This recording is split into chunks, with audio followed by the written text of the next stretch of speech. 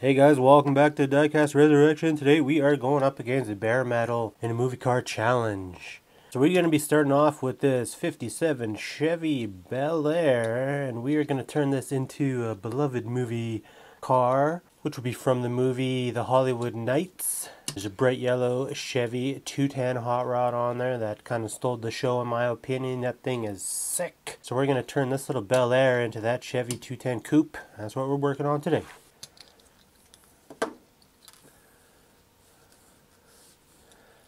check out that interior. I really like that. It's a nice touch. Nice touch. Okay, so this hood, this hood, and these bumpers, everything here's got to go. I'm to strip this off. So I'm going to see if I can just chip away at this plastic, and usually you can. Just kind of give it a good scraping, and yeah, just like that pretty easy to remove our, uh, our pieces here. We've got our front bumper off, do our back bumper here.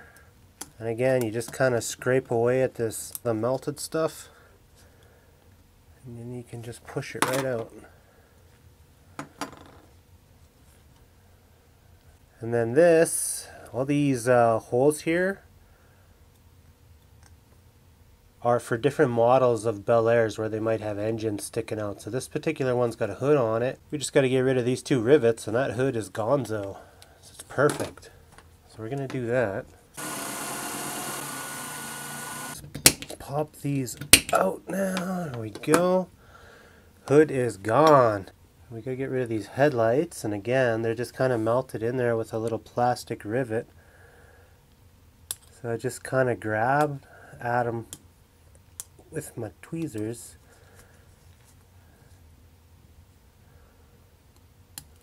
and then you just push them out and it's just that easy alright that's some pretty nice looking paint but we've got a mission to do here.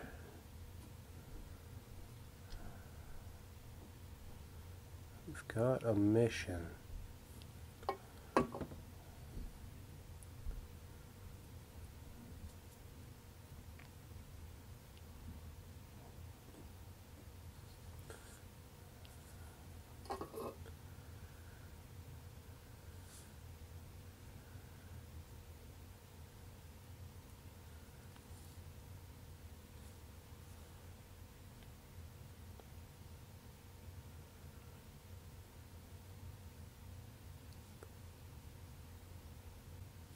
It's crazy how this stuff works.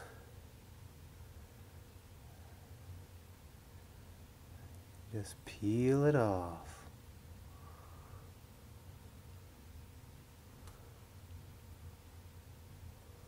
Eh, eh, eh,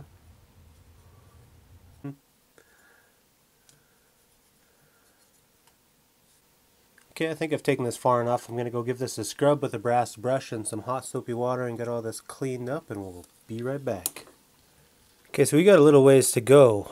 trying to make this look like that. Got some differences here we got to take care of. Down here on the bottom, on a Bel Air, there's a big aluminum trim piece that went here. And our 210 doesn't have that. So we got to smooth that out. First and foremost, just going to take some of this off with a file until we get down to the point where we can sand.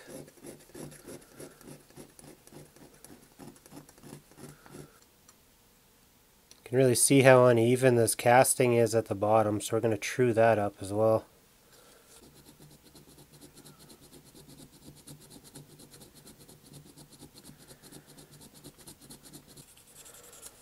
Since we started off with you know a casting where I could just remove the hood perfectly, you know, we got to go the extra mile and get the rest of these details right because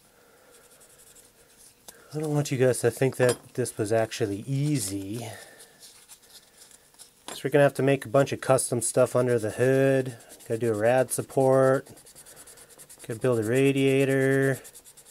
So we're gonna play with some styrene today for the first time.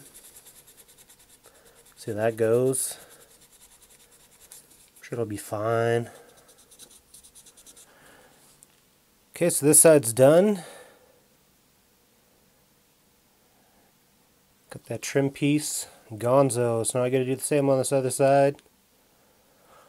I'll probably do that off camera. Just, you know, this, this takes a little while. This doesn't, doesn't just come right off. So I'm going to work on the other side and then we will come back and move to the next step. Okay, so now both sides are taken care of. That trim piece is gone. Next step, we're going to delete these windshield wipers.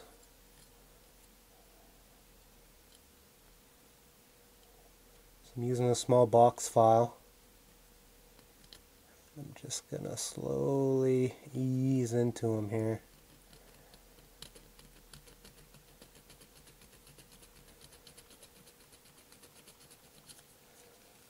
So you don't want windshield wipers cramping your style.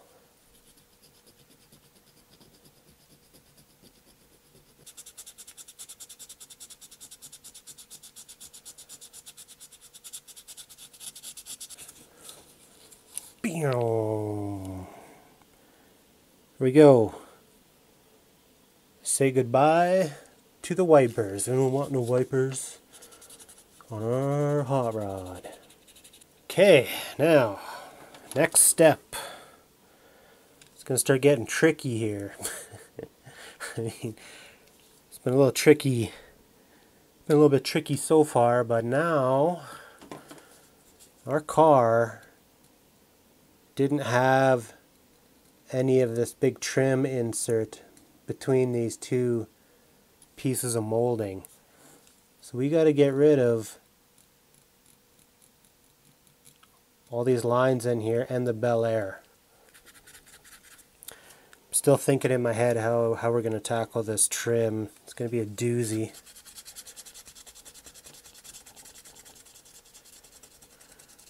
You just kind of move on to something else and just let it stew and then you'll be like, oh, I know. I'm going to do this. Okay. We're going to try a Dremel tool to get in there. It's going to be uh, going to be crazy, but I don't, I don't know if we have much of a choice at this point. Going to have to get to the precision, into the precision tools here. Something sharp as heck. Sharp as heck.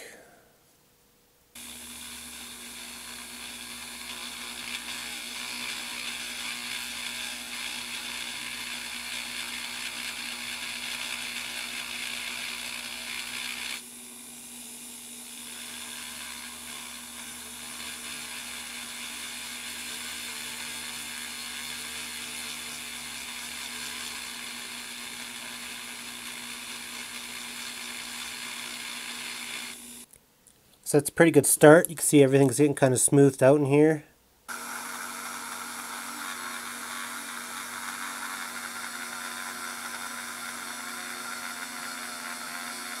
Okay, so I've got both sides looking pretty good now. Now I'm going to put some steel on my Dremel and we're going to do a high speed pass and kind of clean this up.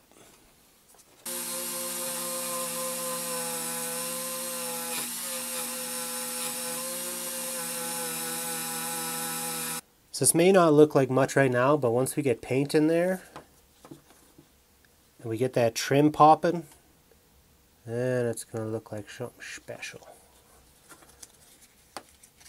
So got to make sure this trim's looking real smooth right now, because I'm not going to have another chance to do it once she's painted.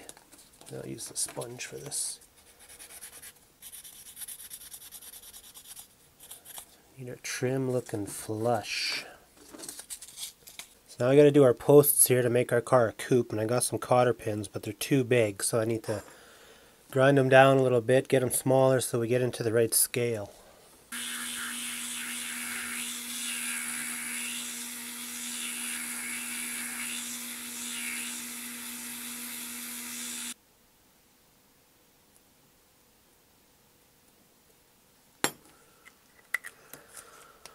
So I want to get a rough guesstimate here.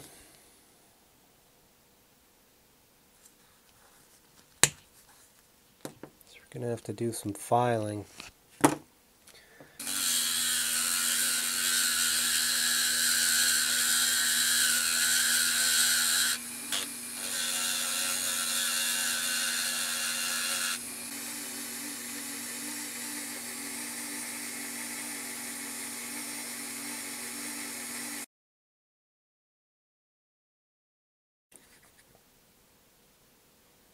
Daddy's gonna lose it.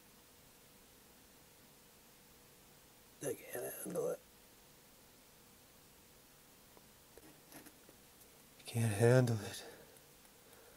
I've never been so mad in my life trying to get these in place. Oh, dear God. Putting these posts in has to be the most infuriating thing I've ever done. So I'm not just putting in one, I'm putting in two side by side. Hopefully everything dries good and it cleans up nice and it doesn't look like it's uh, anything other than a factory post. So here's hoping. Okay, I'm done freaking out. Desk looking like a bomb went off over here.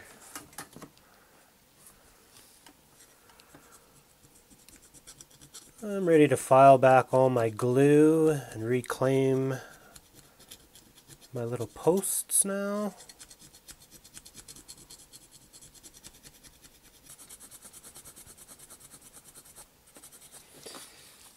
Okay, I'm going to admit that was, uh, that was extremely painful.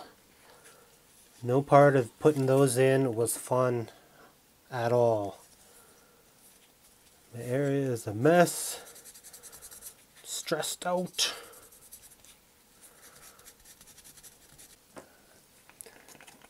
Alright, so we're mixing some paint here.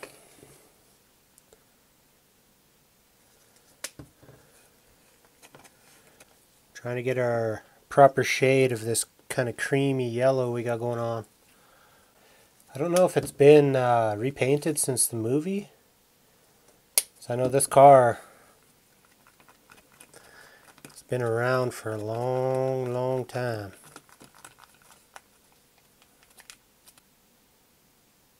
Yeah. That's what we're looking for. Gonna prime our car with our AutoBorne sealer. It's a nice light coat.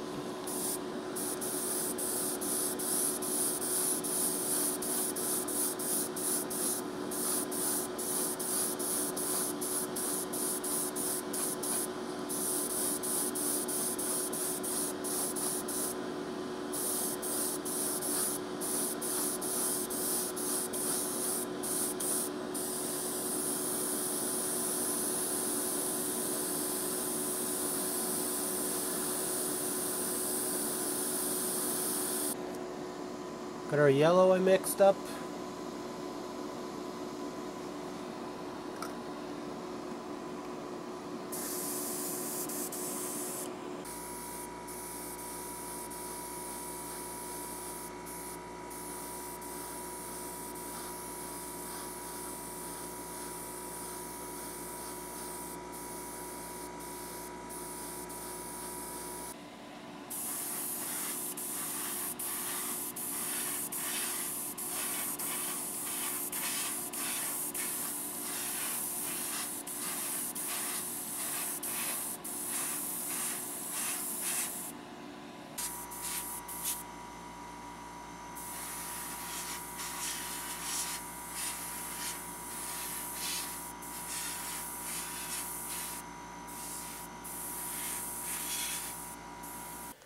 Alright, so here's our car. Got our paint job on there, nothing nothing too crazy. Now it's time for us to work on this trim and most people would paint this trim with their chrome pen. We ain't doing that today. Let's check this out.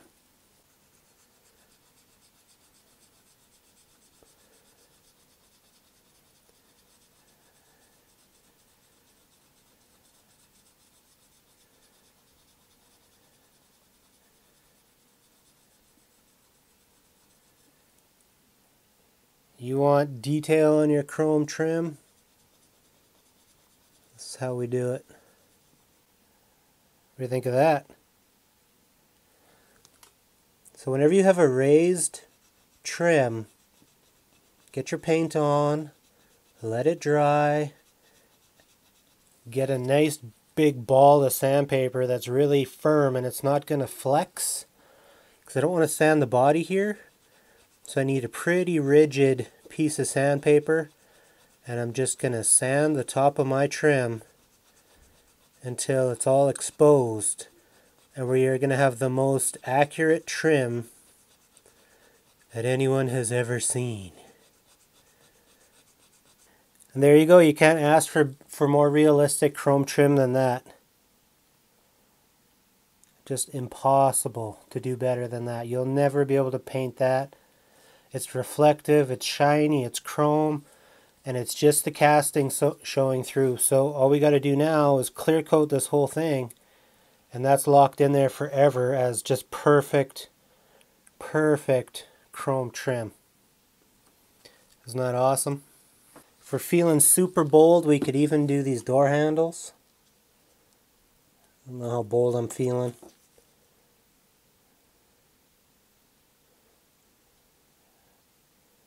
Super, super, super careful.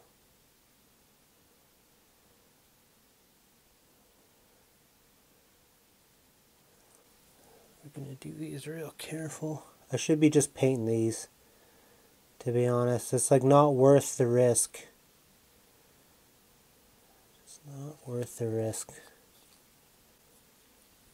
There. There's a perfect little door handle. Isn't she a beauty? Okay, so I'm going to go ahead and clear coat this up before I mess anything up. Right now I feel like it's just at a perfect point. And I need to get this cleared just so I don't chip or scratch anything. If I scratch the clear coat, I can always just sand and polish. So I really want to get this cleared right now. Because I'm freaking out, man. I feel like we'd have a very basic interior so I was thinking we'll just do some details here. With the chrome pen.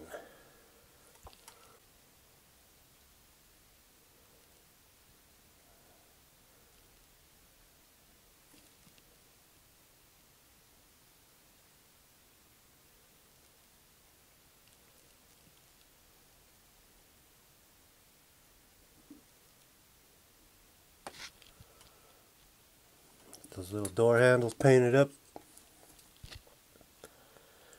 Those window cranks.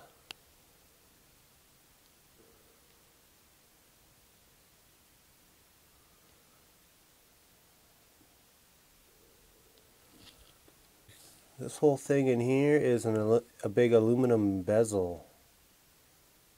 I've got to get all this. I feel like the pen might not be the way to go here. It's going to be easier to just paint over the gauges.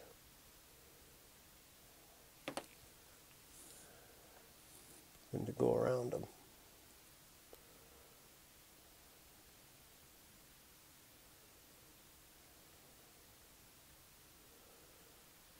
This has proven to be a challenge, especially around this camera.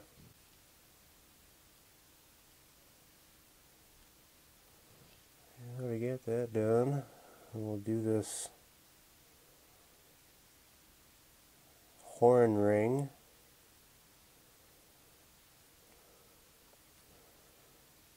The center of our steering wheel.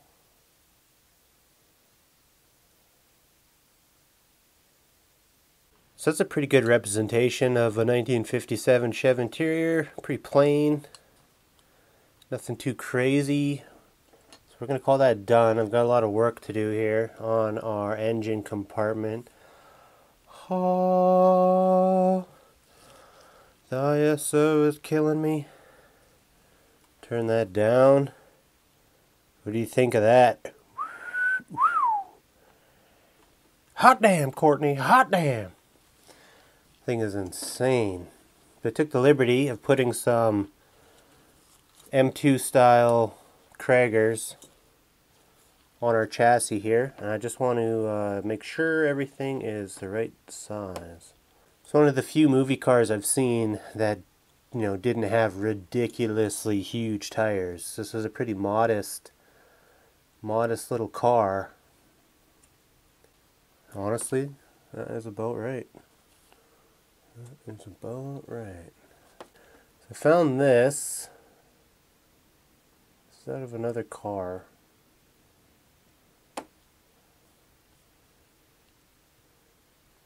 I'm going to have to trim it down. So when you're doing a build like this, you're sourcing a lot of parts.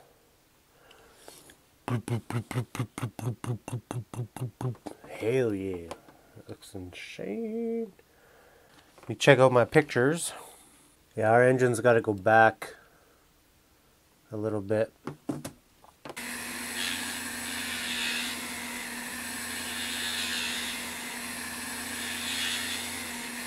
Bloop, bloop, bloop, bloop, bloop. That looks quite a bit better. So we should have a rad support immediately in front of the engine and then a radiator. Alright, so we're going to cut out some styrene here.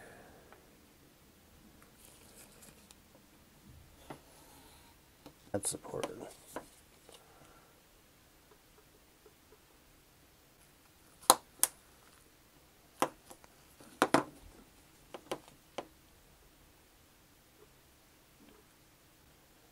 Then the real car, this engine's so tight that they got the pulleys off the front of it and they got the rad support just about touching it. So they got to have the rad in front of this support. So I might go ahead and just glue this on to our engine. Rad support, ugly rad. I like it. Just gonna let that dry just how it is. Just like that. I didn't have the right kind of scoop for this car, so just going with what I got. The real car didn't have any butterflies.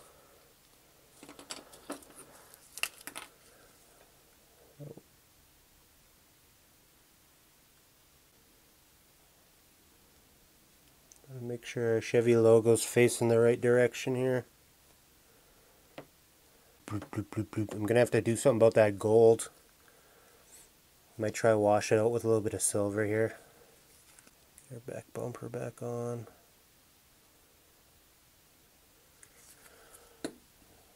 Just dabbing them holes. Oh, I should dab these holes too. And these ones.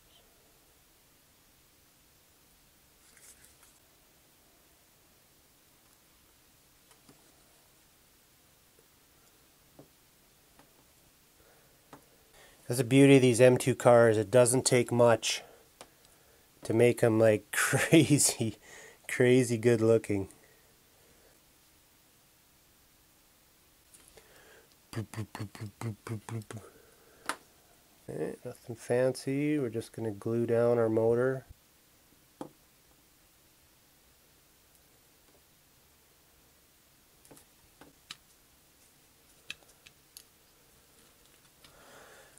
There we go. I think we're done. I'd like to figure out maybe some more detailing up in the front here in the hood region. Just got to get rid of some of this gold in this grill, so I'm using some chrome out of my Molotow chrome pen. Put a little fan on here. It doesn't really look like a fan, but it represents the fan. Just getting tough to do, you know, when it's this small. Just want to throw a little bit of white on these.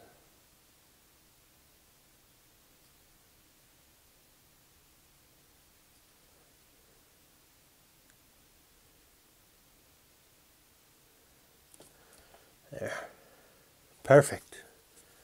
We're done. What a journey. I have never worked so hard on a car in my life. We put out some pretty sweet cars here, but this thing was the most labor intensive car I have ever touched. Okay, well I gotta say, just turning this car into a coupe was hard enough. The trim was impossible. The paint was pretty basic for me. But overall, man, what a challenge this was. I want to say thank you to Bare Metal for accepting my challenge. I was surprised he picked movie cars, but I'm glad he did because this really pushed the limits of my skill. I've only been doing this uh, for about five, six months now, and man, I had to do some stuff today that I never thought I would. So Hope you guys enjoyed this video. If you haven't met Bare Metal, he's the granddaddy of diecast restorations and repair tips and everything. So I'm going to leave a link in the description for his channel.